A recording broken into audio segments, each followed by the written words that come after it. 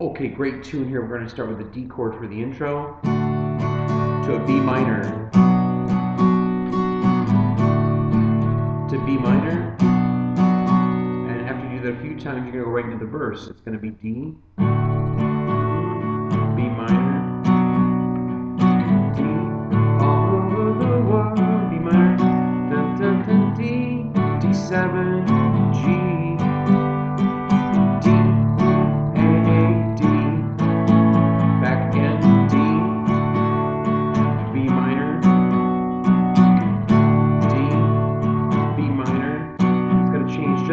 You're going to go back to D, D7, G,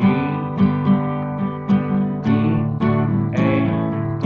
Now, but now you're to go to D7. Bridge,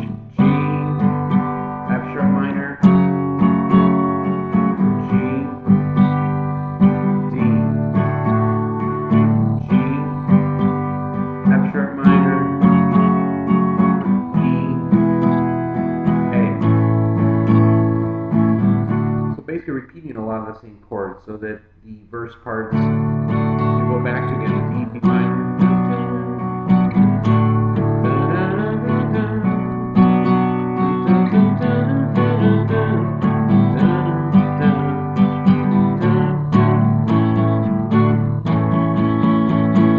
When you finally get to the very end, the- the end chords are the same as the intro, so um, a lot of repetition in the song. So at the very end, it's basically the D,